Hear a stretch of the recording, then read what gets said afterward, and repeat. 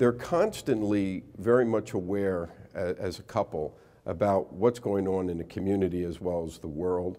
And they have a real compassion uh, and a compelling wanting to um, make things better.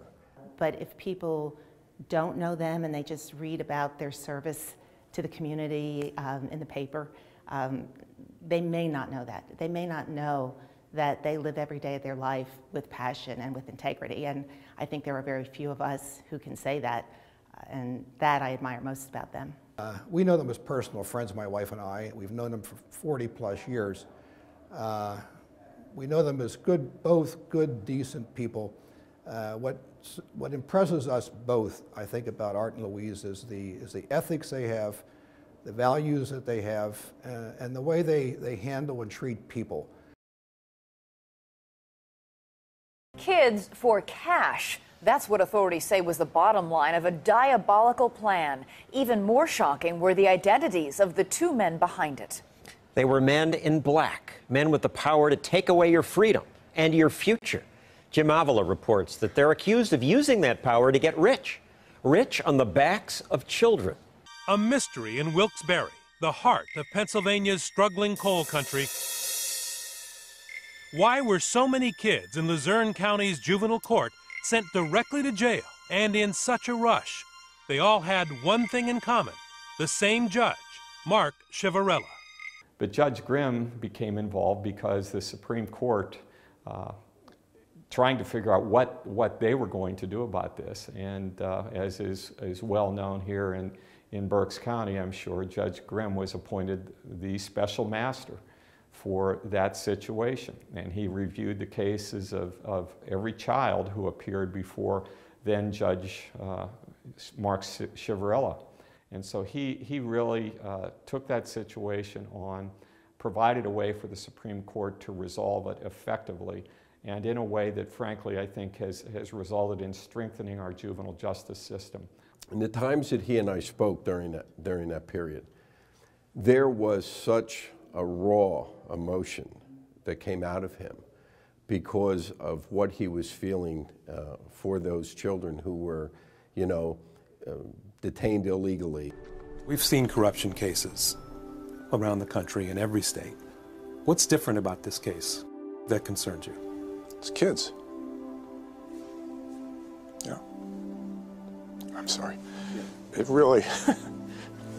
Damn it, it really upsets me because it's on the back of kids.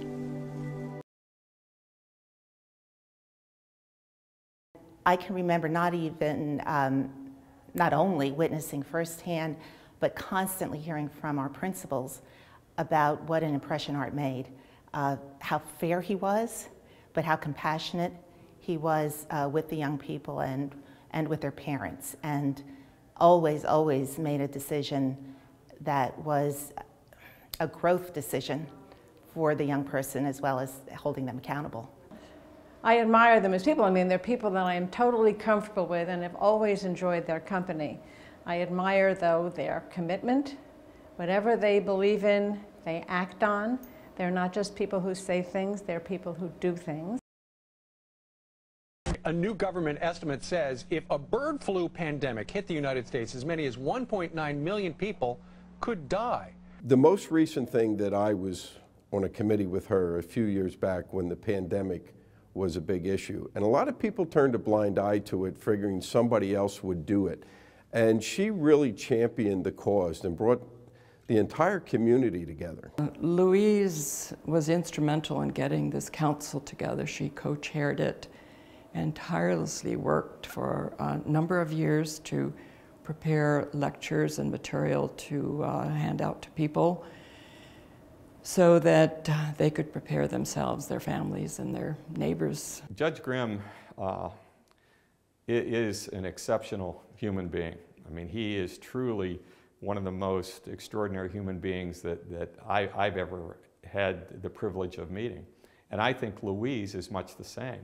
And uh, that together, they are just an extraordinary couple. Um, my late husband, Fred Gage, and I uh, were the, had the privilege of attending Art's 60th birthday uh, celebration. And Art and Louise spoke about each other in that gathering. And I was so touched by the love and respect and admiration that they expressed for each other.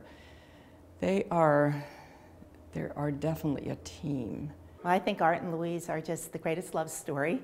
They met when Art was on leave in the service in Montreal, and he and a buddy were standing in line uh, at a very, very popular discotheque, so he had to stand in line to get in.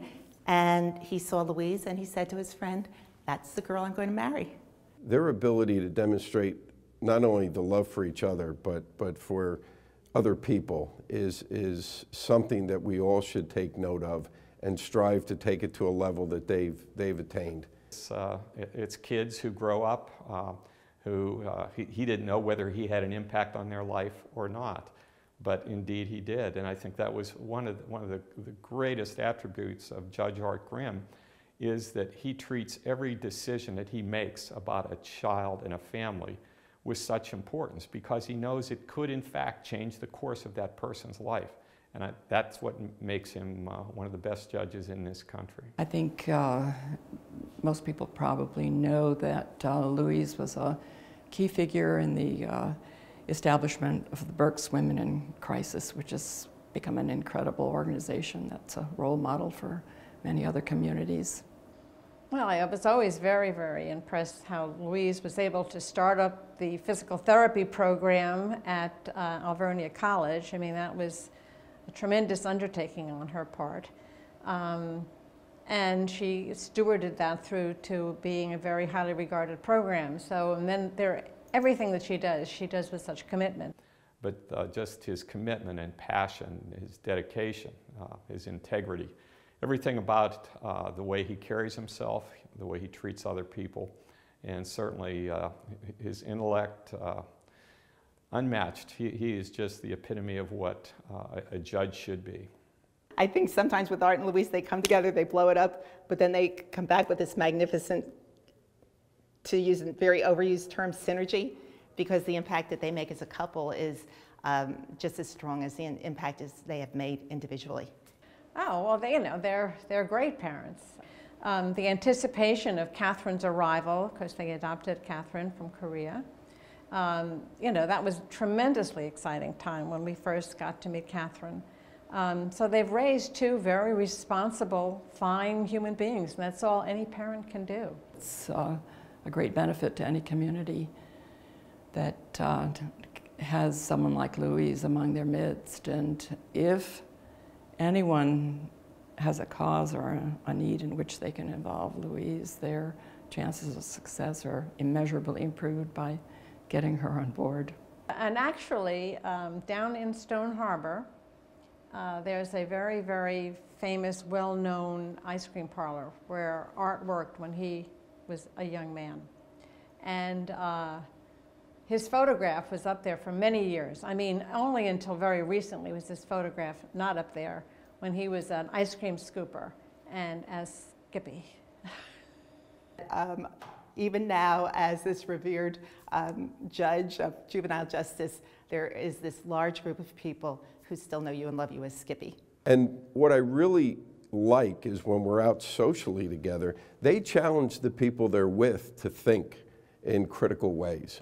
But they certainly set a very high example. And consequently, if, uh, if in the back of my mind I'm saying, should I bother to do this or not, or if I'm asked to be on a committee or something of that nature, uh, sometimes it will creep into the back of my mind, well, Art or Louise would have done that, so maybe we should do it too. When I think about Art and Louise, I'm reminded uh, of a quote that's attributed to Horace Mann, and he apparently said, Be ashamed to die until you have won some victory for humanity.